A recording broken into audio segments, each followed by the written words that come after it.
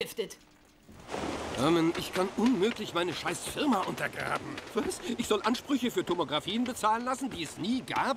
Der Papierkram sieht doch so wie bei echten aus. Und wie werde ich nicht dabei erwischt? Es ist schrecklich, wenn du dich selbst schlechter machst. Na komm, du bist doch ein gewitzter Kerl. Ich bin depressiv.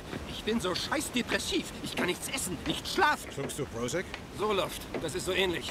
Das soll auch gegen die Spielsucht helfen. Mach keinen Scheiß. Naja, die ganze neue Generation von Antidepressiva soll angeblich gegen zwanghaftes Verhalten nützlich sein. So ein Jammer. Ein Medikament kommt raus, nachdem deine Zockerei dafür gesorgt hat, dass deine scheiß Hüfte im Arsch ist.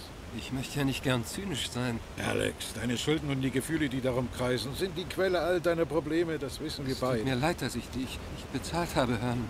Ja, das weiß ich doch. Und ich wollte nie was Abfälliges äußern über Tony Soprano. Hey, möchtest du über die Felsen laufen? Ich gehe auf Krücken, das kann ich Komm nicht. schon, es ist wirklich wunderschön. Komm mit, wir helfen dir. Ich gehe oft da und denke nach.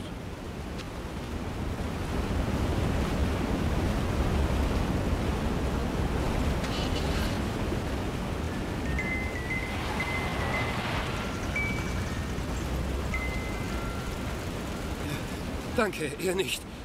Äh, also versuchen wir es. Das, was ihr vorhin gesagt habt mit den, ihr wisst schon, mit den Tomographien.